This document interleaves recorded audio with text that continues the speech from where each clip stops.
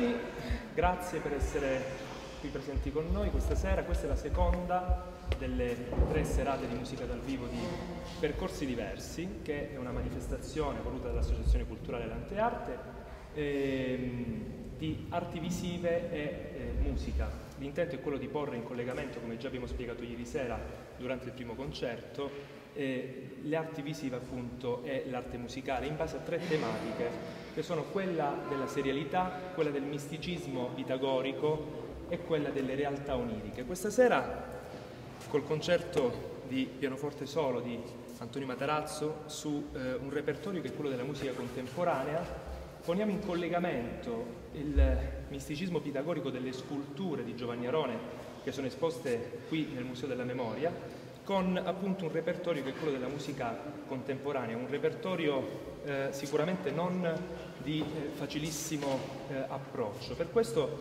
eh, e non solo per questo, vogliamo realizzare una piccola, breve introduzione all'ascolto, ehm, ponendo diciamo, delle questioni, delle domande a, eh, al nostro Antonio e con, cominciando con delle parole che ha scritto lui stesso qualche qualche tempo fa, eh, studiando proprio questo repertorio e gli autori che andrà a eseguire questa sera, autori che sono eh, Arvo Part, Gheorghi Ligeti, John Cage, Luciano Berio e eh, Giorgio Ivanovic Gurgev. Quest'ultimo non inserito nella, diciamo, nella corrente della musica contemporanea, delle avanguardie eh, della musica contemporanea, ma sicuramente molto interessante dal punto di vista del tema del misticismo pitagorico. Quindi eh, qualche tempo fa eh, Antonio scriveva la conoscenza e la verità attraverso dei messaggi universali. La musica dunque provocherebbe degli effetti oggettivi su qualsiasi ascoltatore. Si parla per questo, con Gurdjieff, di musica oggettiva.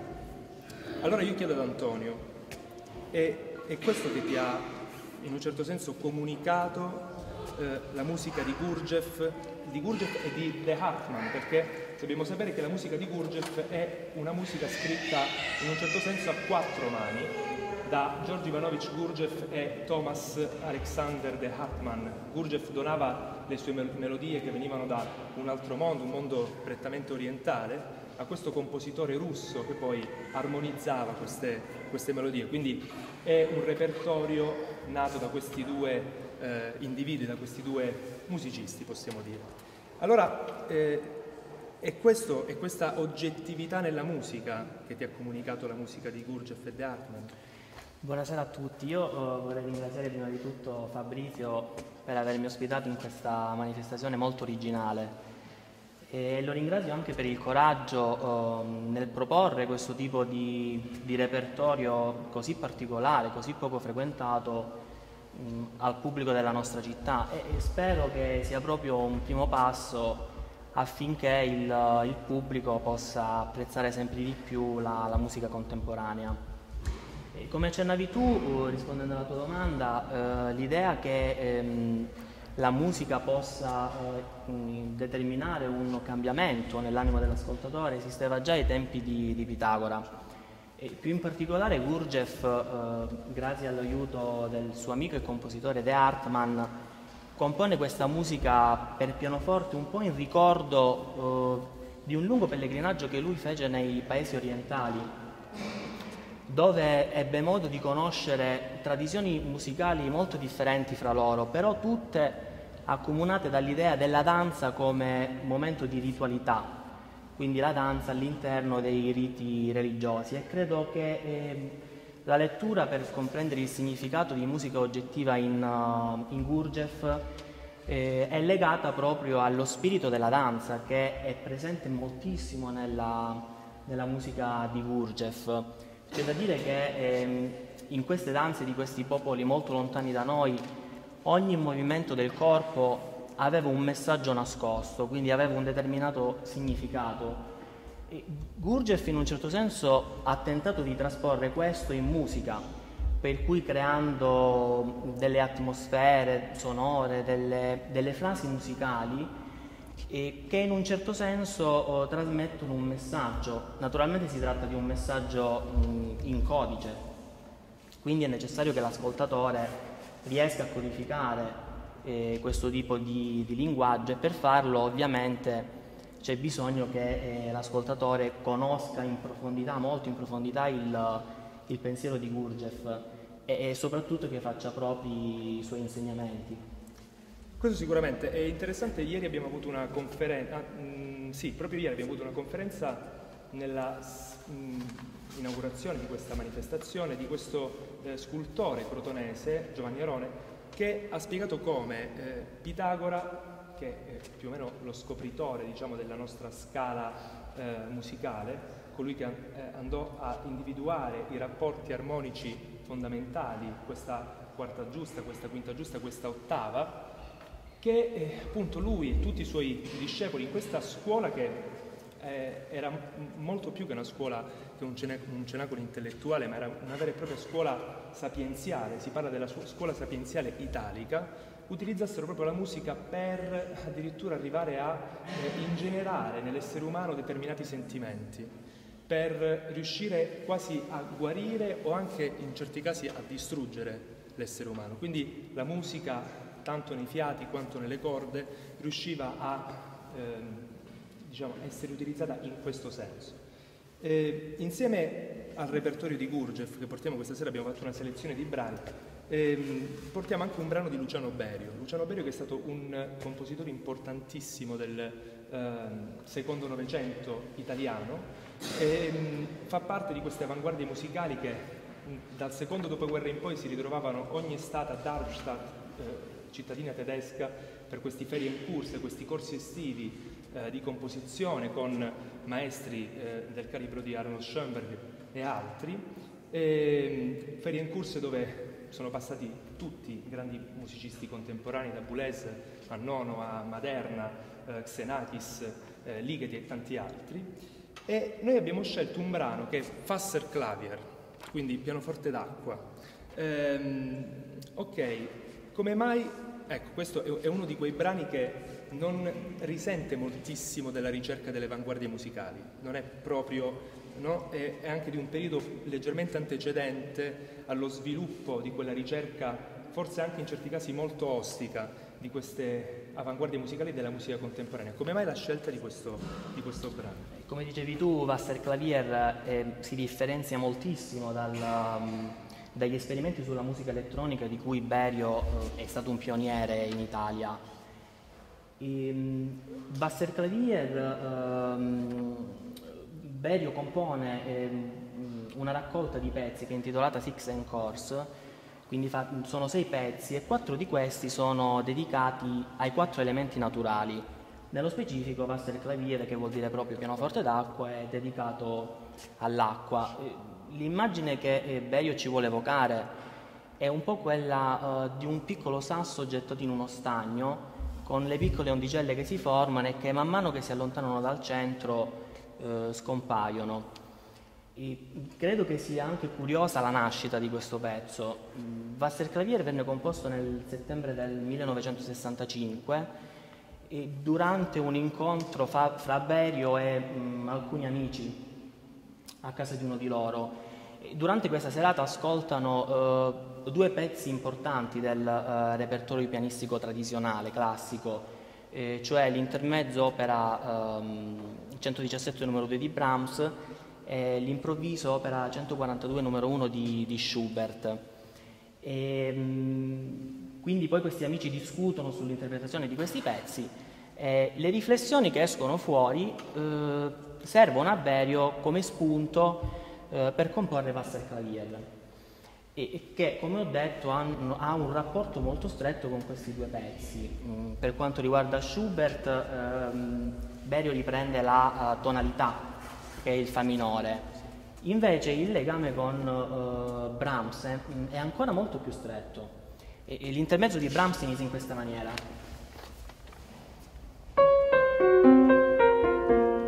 Ora, queste prime due note sono esattamente le prime due note con cui inizia eh, Wasser Clavier, che inizia così. E queste due note continuano mm, mm, ad esserci nel, nel pezzo quasi in maniera ossessiva. Sì, andando oltre, eh, Ligeti. Ligeti che è un, un, altro di questi compositori della musica contemporanea che viene eh, utilizzato anche da, più volte da un regista come Stanley Kubrick, la prima volta in 2001 di Sé nello spazio, con un episodio anche abbastanza simpatico. Kubrick si appropria del lux eterna di, questa, di quest'opera di, di Ligeti senza, eh, diciamo, quasi avvisarlo. Ligeti ritrova la propria musica all'interno di questo capolavoro del cinema eh, mondiale e ne nasce anche una causa eh, giuridica tra i due, vinta poi chiaramente da Ligeti. E una seconda volta eh, mh, Kubrick decide di utilizzare una delle musiche di, di Ligeti ed è nell'ultimo dei suoi, dei suoi film, tutti i capolavori, Eyes Wide Shut del 99, ed è proprio un brano di, questo, di, quest'opera, uno dei brani che abbiamo selezionato di quest'opera che portiamo questa, che Antonio ci farà ascoltare questa sera, che è Musica ricercata, opera del 53, sì. opera del 53 che è direttamente ispirata a eh, Bela Bartok, un compositore molto più anziano di eh, Ligeti, che muore se non sbaglio proprio quell'anno, e, sì. o giù di lì, sì. e, e, che ispira appunto tutta quest'opera con un linguaggio molto minimale. Questa è un'opera di 11 brani, eh, si parte dal primo con due sole note, man mano che si va avanti lungo tutti i brani, lì che ti aggiunge ogni volta una nuova nota. Ci vuole, in un percorso sicuramente molto ragionato in un certo senso, ci vuole dimostrare come con pochissimo materiale si può fare tantissimo. Uh, il brano che Kubrick decide di utilizzare in Eyes Wide Shut è, è il numero due, il movimento numero due di questa musica ricercata e si avvale così di sole tre note che sono questo Mi diesis, Fa diesis, Sol. Vogliamo sentire un secondo? Sì, allora, eh, questo brano è strutturato in due parti principali. E nella prima parte viene presentato una sorta di frammento tematico che è costituito dall'alternarsi di queste due note, il Mi diesis e il Fa diesis. Fa così.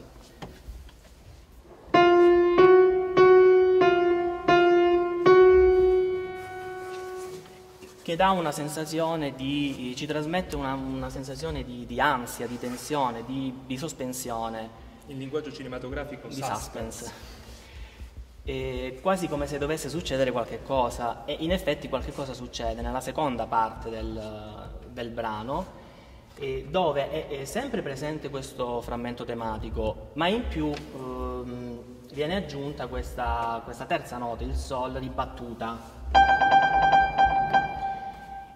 che è quasi una sorta di punto interrogativo, di, di dubbio eh, rispetto a tutto quello che mh, è successo in precedenza. E io credo che eh, musica ricercata sia uh, veramente un pezzo geniale, eh, scritto, composto da un compositore geniale, qual era Ligeti, che come dicevi tu Fabrizio, eh, con soli 12 suoni ha composto un'intera raccolta di 11 pezzi e ognuno di questi pezzi ci vuole raccontare una storia brevissima che è fatta di emozioni, di sensazioni, di atmosfere. Quindi il secondo con questo stato di ansia, di tensione, il terzo, come poi avrete modo di ascoltare, dalle sonorità molto aspre, il quarto che invece è una, una sorta di parodia del valzer, il quinto invece è caratterizzato da un lamento veramente quasi ossessivo, che sembra non avere mai fine. E il sesto invece è molto più brioso, giocherelloso, fanciullesco, ricorda un po' i giochi infantili. E, e l'ultimo invece, il nono, mh, eh, con il rintocco delle campane, che non a caso in questo momento rintoccano. Che risuonano a lutto però per uh, la morte di un altro grande compositore ungherese che è appunto Bartok. E quindi questo brano è dedicato sì, a... Esatto, Ligeti dedica proprio a Bartok e, e a cui Ligeti si ispira nel suo linguaggio musicale. Sì. E, ehm, diciamo che per il discorso del misticismo, in musica Tre di questi cinque autori sono quelli che più di tutti gli altri diciamo, ehm, lo portano nelle, nelle, proprie opere. Sono Arvo Part, sono, eh, quindi Arvo Part, Gurdjieff e John Cage. John Cage che è l'autore di un'opera molto celebre, eh, che sono questi 4 minuti e 33 secondi di silenzio, che non eseguiremo questa sera. Ehm, Arvo Part, che è un autore molto particolare, Arvo Part fa parte delle avanguardie musicali del Novecento come tutti gli altri, ma a un certo punto sceglie di chiudersi in un silenzio, un silenzio che dura addirittura otto anni. In otto anni lui non scrive più una nota. Eh, esce fuori da questo silenzio col brano che ascolteremo questa sera, che è ehm, Furalina, Peralina, ed è eh, un brano che rispecchia perfettamente quello che poi è stato definito il suo stile, che è lo stile del Tintinnabuli, eh, dal latino appunto campanelli, la cui caratteristica principale di questo stile appunto è, è individuabile appunto nella presenza di queste due linee melodiche. Una si muove per grado congiunto, un'altra per arpeggi o meglio ancora per triadi. Eh, per chiudere questa introduzione, cosa ti ha dato Arvopart? Cosa ti comunica Arvopart come anche eh, le atmosfere che hai trovato e nella prima domanda che ti ho fatto Gurgev e riprendendo quello che dicevi eh, sullo, sullo, stile Tintinnabuli, ehm, questo pezzo di, di Arvo Part, eh, come dicevi tu, è, è, costruito su due linee melodiche. Queste due linee si sovrappongono.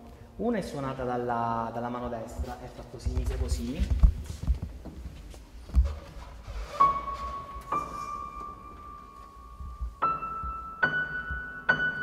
l'altra invece dalla mano sinistra.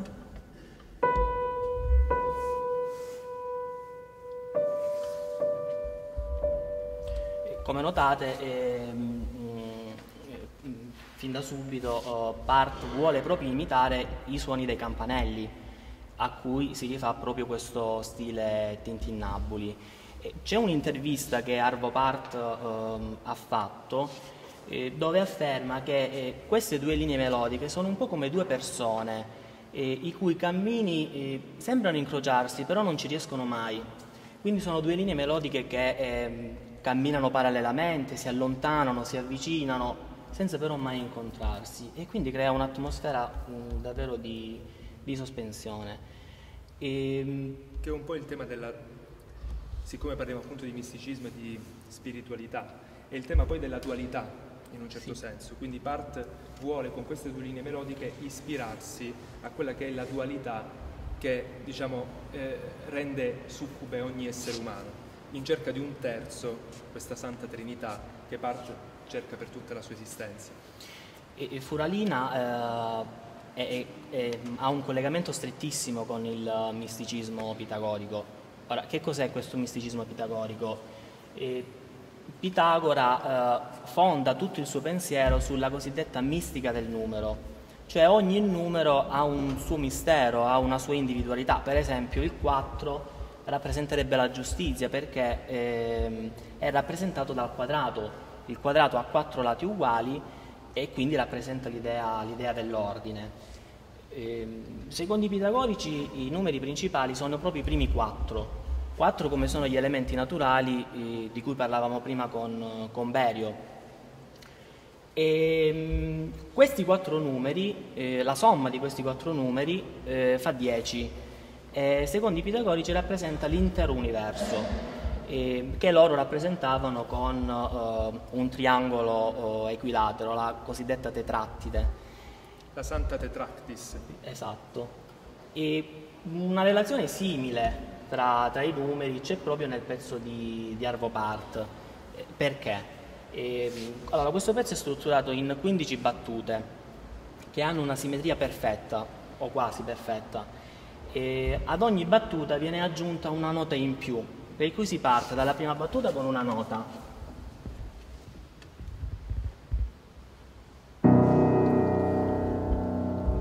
Poi seconda battuta, due note.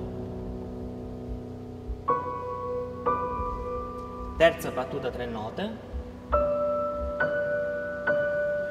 E così via fino all'ottava con otto note. Poi dalla nona in poi viene eh, tolta una nota in meno, si arriva alla quattordicesima battuta con due note.